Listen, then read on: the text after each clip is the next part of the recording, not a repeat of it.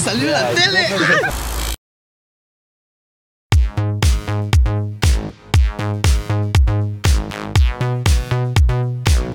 Jour 4 et le beau temps est retombé sur la croisette et quand il fait gris à Cannes, eh bien on regarde des films de Ken Loach.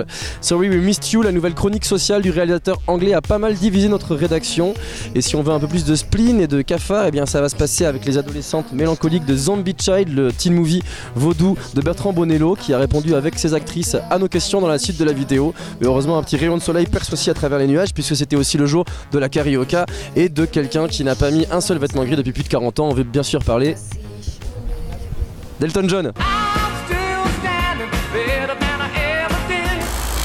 you really think I want that? Really? Yeah. Oh yeah, of course I do, don't I?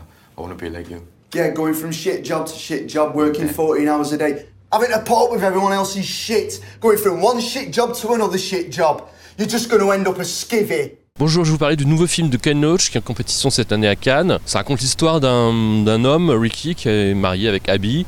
Ils ont deux enfants, ils vivent dans une petite maison, typiquement britannique. Mais euh, Ricky est au chômage et il décide un jour de devenir livreur, chauffeur indépendant. C'est un film qui est très contemporain puisque Ken Loach, euh, voilà, il filme vraiment euh, l'ubérisation de la société. On retrouve vraiment un peu ce même schéma qu'il y a dans tous ces films, à savoir euh, confronter euh, une personne à la violence euh, du monde d'aujourd'hui, la violence sociale et économique. Did you have somebody in the van with you on Saturday gone? Oh, yeah, it's, uh, it's my daughter, Liza Jane, mate. Sorry, mate, we can't have that. Well, it's, it's my van. My insurance, my daughter. Le film est un peu trop manichéen, il manque de subtilité. Euh, on sent que Ken Loach a beaucoup d'amour et de bienveillance pour ses personnages. Mais, euh, mais voilà, pour moi, ça ça relève davantage du témoignage que euh, du film de cinéma. Il a bien conscience que, que si le système existe, c'est bien aussi parce qu'il y a des gens qui l'ont accepté.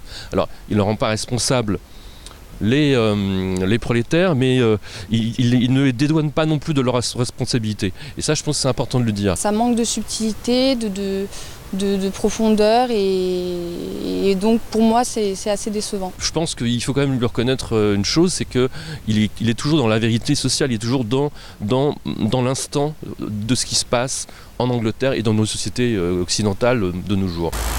Zombie Child de Bertrand Bonello, c'est son huitième long métrage à la quinzaine des réalisateurs et c'est un teen movie fantastique qui raconte euh, à l'époque actuelle euh, l'histoire d'une bande de jeunes filles, une sororité dans un, dans un institut euh, bah, pour jeunes filles. Parmi ces jeunes filles qui sont quatre, va se glisser une cinquième entité, une, une descendante en fait d'un ancien ouvrier de Haïti dans les années 60. Ce film ado va se laisser peu à peu euh, envahir par des flashbacks où euh, on découvre en fait que cet ancêtre euh, a été enterré vivant et est devenu un zombie. Il y a une quinzaine d'années, je m'étais pas mal intéressé à Haïti euh, pour Mhm. des raisons personnelles.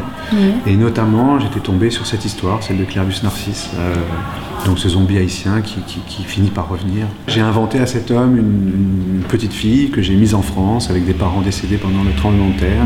Et puis après m'est arrivée l'idée de, de- de ce pensionnat parce que j'avais pas envie qu'il y ait de parents. euh, voulais rester à hauteur d'ado. On est dans une ambiance vraiment onirique, romantique, de jeunes filles en, en chemise euh, de nuit blanche qui errent dans des couloirs euh, déserts, euh, font des, des, des rituels euh, secrets à la lueur des bougies la nuit. Donc ça, c'est vraiment réussi et ça...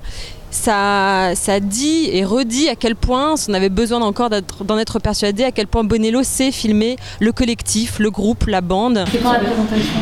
Ce soir. Ce soir. Chacun a un petit, euh, speech à dire. On...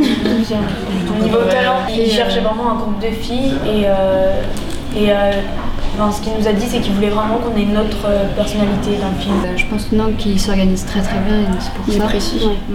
Il est très précis. Vraiment, veut euh, ouais, Chaque jour on avait euh, les est bien scènes et on les, euh, faisait toutes à chaque fois. Vous avez mis des prises euh, très précises.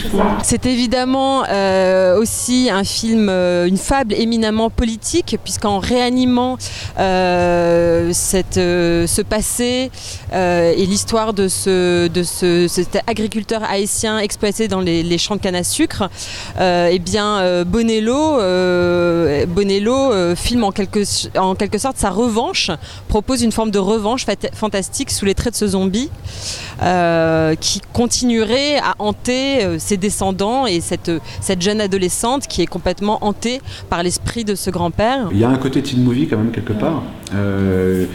Il y a un côté donc un petit peu film de genre. euh, il y a un côté euh, quasi ethnographique à certains moments. Il y a un côté quasi documentaire avec le cours d'histoire de Patrick Boucheron. Voilà, ce côté hybride comme ça me, me- me- me plaisait bien. Elton John ou Carioca? Et pourquoi? Euh, Carioca. Et pourquoi? Euh, bah, La danse, elle est plutôt marrante et tout. C'est une scène culte du film euh, La Cité de la Peur. Carioca. Carioca, évidemment. Carioca. La Carioca Et pourquoi Parce que Elton John c'est sympa, mais c'est pas la karaoke. Parce que Alain Chabat, Elton John, on- c'est pas plus trop notre génération, on connaît pas très bien. Excusez-moi, j'ai pas pu résister, j'adore ce morceau. Sais-tu danser la carioca? Non.